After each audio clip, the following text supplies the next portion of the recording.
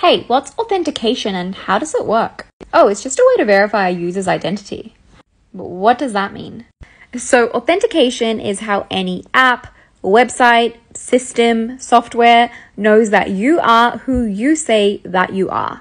For example, anytime you log into your bank account or your email or maybe even the TikTok app, you are proving that it's actually you. But why is verifying who you are important? Number one is security. You don't want any private or confidential information to be viewed by anyone else that's not you, right?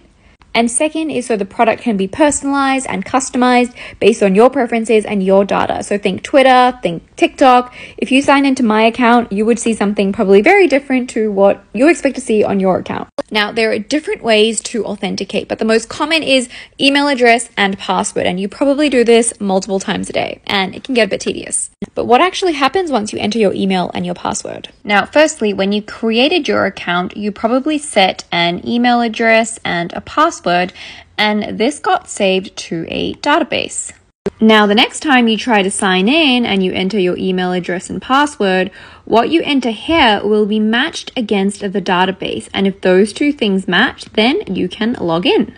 Now, you might be thinking sometimes you log into something once and you don't have to log in again for quite a while. And that's because of something called sessions.